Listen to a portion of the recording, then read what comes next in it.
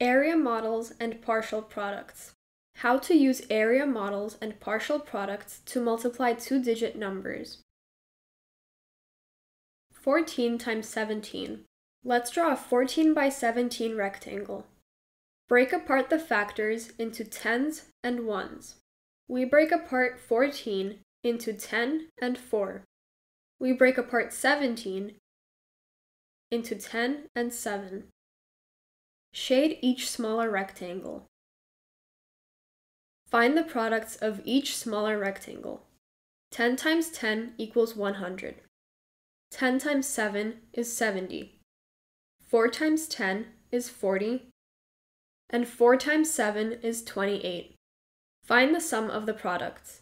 100 plus 70 plus 40 plus 28 equals 238. So 14 times 17 equals 238.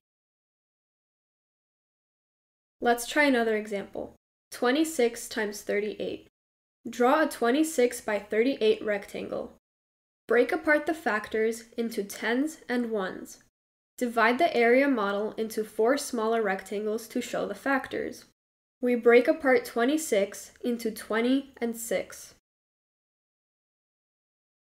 We break apart 38 into 30 and 8.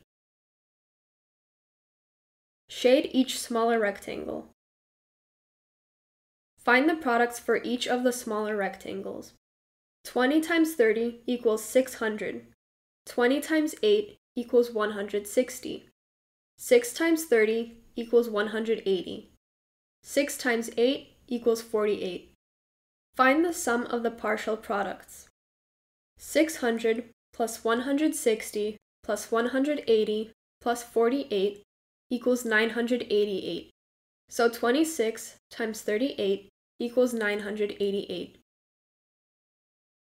If you thought this video was helpful, please leave a like.